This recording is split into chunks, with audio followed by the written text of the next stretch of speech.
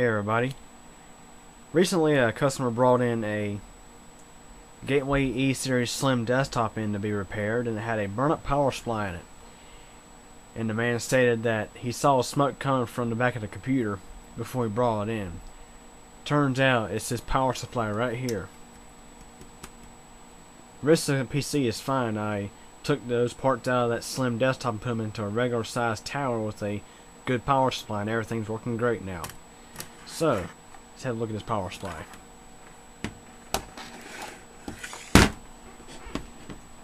This is a Newton Power model MPS 180 EBA.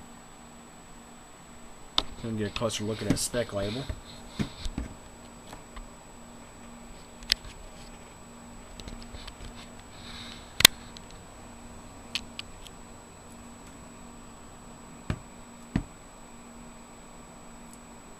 Paul's view specs. So, it looks like this thing was manufactured on the 52nd week of 2003 according to this date code. I'm not exactly sure.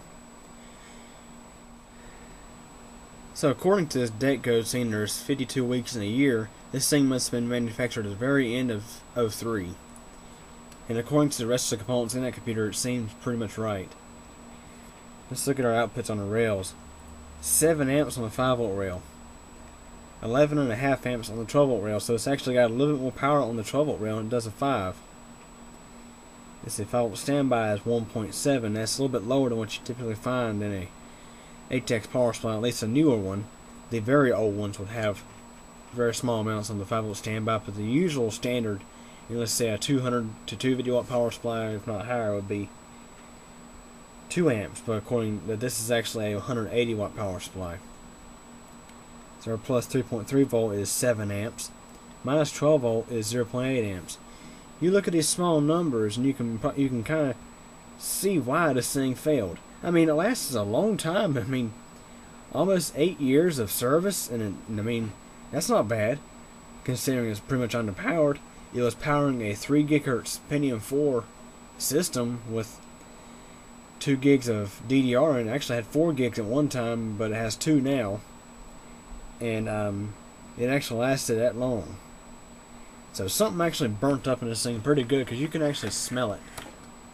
Doesn't smell very good at all, so we're going to go ahead and pop the cover off and have a look inside. Okay, and got the cover off and got a lot of dust out of this thing. It was real filthy. But funny to note, I can't really seem to find any major source of failure in this thing. Everything looks good. All the capacitors look good. There's no bulging caps in this thing. No uh, real obvious burn marks on the PCB or anything. But there was one. There was actually two things I noticed that were a bit unusual for this for a power supply. If you have a look here, we have two components that are missing a heatsink. These are probably um, rectifier rectifiers right here, these two. There's no heatsink installed there. And turn this thing back around again. Let me show you the next thing I saw. Get my flashlight so you can see better.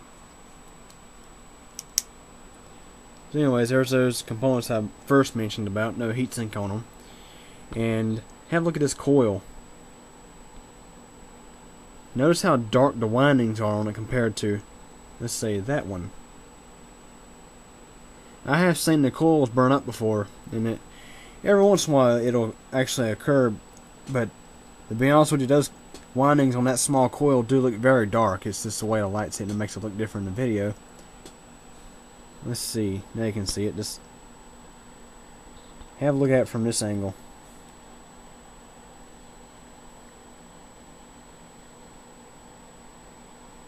The windings do look pretty dark on that thing. So that's possibly what may have smoked in this thing because the user did report smoke coming out of his power supply from something in this unit. So we know that something did smoke in this in this power supply.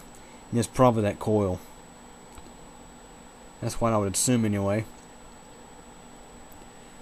So anyways, um usually when it comes to Newton power supplies they're built pretty well. And I would say for a 180 watt unit, this is pretty good. Considering it is an assistant that really could have used a 250 watt power supply. But um, everything looks pretty good. I mean, the build quality is decent. I mean, the capacitors, none of the capacitors are bulging. And it's a mix of Rubycon, Nichicon, and Elcon. Or L-Tech, excuse me, L-Tech, I'm sorry. It's Rubycon, Nichicon, and L-Tex. That's usually what you'll find in Newton and Delta power supplies. They even went as far as to put a heatsink on the bridge rectifier, as you can see here, and actually attach a heatsink to it. And this is only a 180 watt power supply, and they managed to do that. And I see many higher end power supplies out there that don't have heat sinks on their bridge rectifiers. So anyways, that's a quick little look at this thing. So like I say, I assume that actually what smoked in this thing was this little big coil down here. Show it to you one more time if you can see. I think that's what smoked because you can tell by how dark the windings are on it that it got hot. And here's a picture of what one looks like when it actually burns up, and it's actually one kind of like that.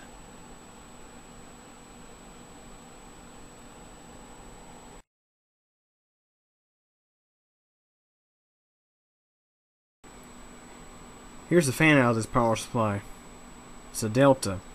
Just another sign that Newton Delta are pretty much the same company. And also I found a Tacon capacitor in this unit too. And it's located right there.